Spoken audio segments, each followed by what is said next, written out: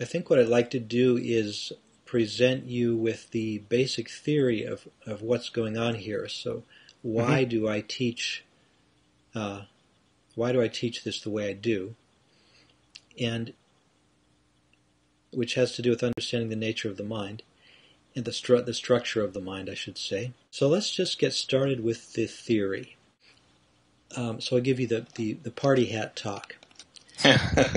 this is a, a, cone I made out of mylar to to uh, represent to make some points. If you think of this as uh, representing the the structure of the mind,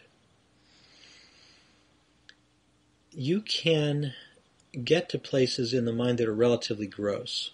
Uh, like like right now, I'm sitting in a room. I'm not very concentrated, and I'm um, just this is my normal waking state. So let's talk about that as being near the base of the pyramid. And as you as you uh, go to more and more subtle layers of the mind or strata of the mind, you go higher on mm-hmm. the, on the, the cone. Also, notice that because it's a three dimensional cone, we've got these, let's call these altitude, altitude bands or, or habitat bands mm-hmm. that are discrete. So it's actually very much like going up a mountain where uh, there's a habitat here and there's a different habitat here. It has different flora and fauna depending on where you are. And these can be recognized. This is actually analogous to the jhanas. The jhana looks different when you're sitting in it than this first jhana looks different from the second jhana, which looks different from the third, and so on. And you can recognize them. So you, you find yourself in one of these and you and you look around and you say, "Oh, okay, I recognize the uh, I recognize this environment. This is the first jhana." Mm-hmm. Now, also notice that because it's three dimensional, you can go to the interior of the cone. So let's say that the exterior of the cone represents a not very concentrated state. So I can get up and down uh, this thing on the surface relatively unconcentrated. However, I can also go into the interior of the cone, and the, and the more I go toward the center, the more concentrated I get. Uh-huh. Notice I'm still at the same habitat band, whatever habitat band I am in, I'm, I'm in, but I can either be not concentrated or I can be concentrated. So let's take this membrane as the uh, the dividing line between not concentrated and concentrated. So we're going to call this access concentration. The minute you penetrate the membrane and move in, you've achieved access concentration and you uh-huh. get more and more concentrated. And the theoretically most concentrated place you could ever be at that habitat band is in the very center of the cone. now, I'm about to explain the difference between pure samatha, which is just absorption, and, and vipassana. At any one of these locations, and it's helpful to think of these as, as physical locations, just conceptually, uh-huh. Whether I'm here or whether I'm here or whether I'm here, I can either be absorbed or I can be awake. Now, an example of how, an example of being absorbed while being not very concentrated and while being low on the cone would be watching television. Um, I can get involved in the television show and forget that I'm in an environment. Uh, I can't really even tell the difference between me and the show. I'm in it. And that's actually the hallmark of a good show. You know it's a good show if you can lose yourself. If you don't lose yourself, it was a crummy show. And by the way, you will never, no matter how enlightened you get, you will never lose your ability to become absorbed in a good show. That's part of the fun. Uh-huh.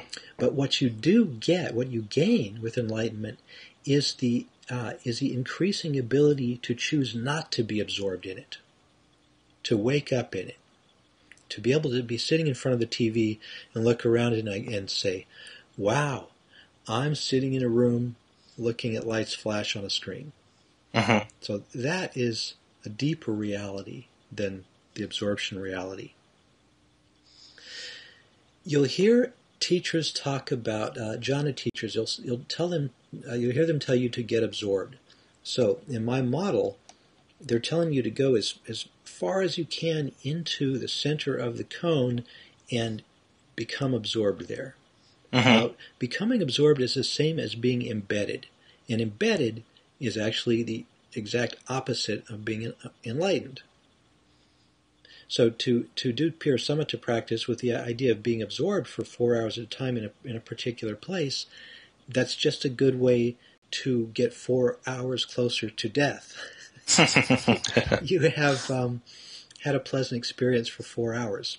Nice, but not particularly conducive to awakeness.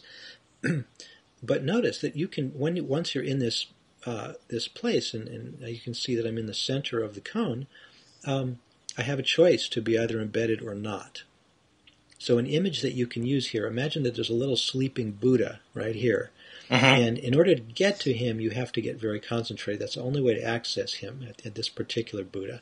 There's also another Buddha right here, and there's a whole bunch of them all over the place, infinite number, I guess.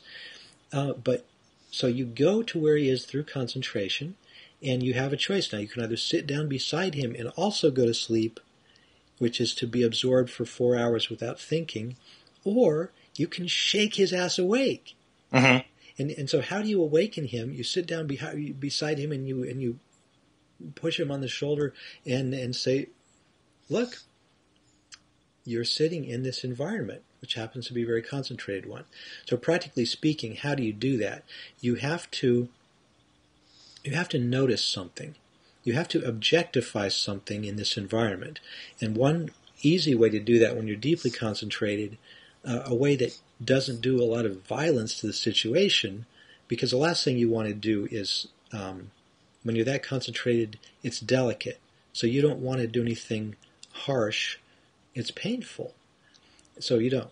What you do is you very gently ask yourself, can I be aware of whether this is pleasant or unpleasant? Mm-hmm. And then you say, oh yeah, pleasant. And now you're starting to wake up. I'm sitting in a room watching lights flicker on a box. That's the analogy. Pleasant, pleasant. And you can also notice that contrary to the misperception of a moment ago, there are unpleasant sensations even in this deeply concentrated state. Now that's a real wake up call.